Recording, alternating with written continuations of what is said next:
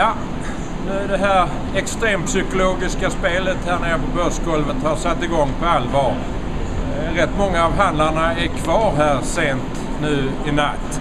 För nu är det frågan om naturligtvis hur man ska kunna positionera sig inför torsdagens Federal Reserve-besked som alla går och väntar på. Det, det, finns inga regler, man bryr sig inte om empirismen och man läser inte böcker längre om hur marknaden har utvecklat sig. Men det ska vi inte prata om för det är så tråkigt att behöva göra igen här.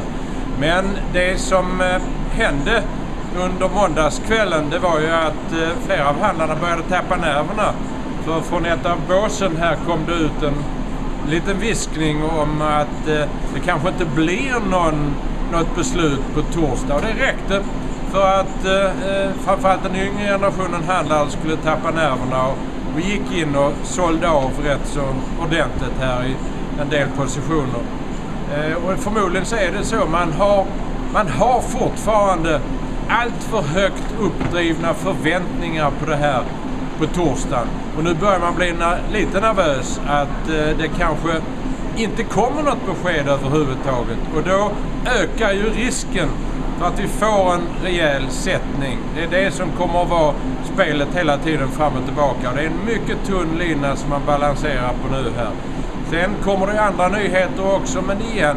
Det är Federal Reserve i slutändan. Det är det enda jag hör från handlarna. Det är det som gäller. Sen kan de andra nyheterna naturligtvis också påverka det tillfälligt, som man uttrycker det här.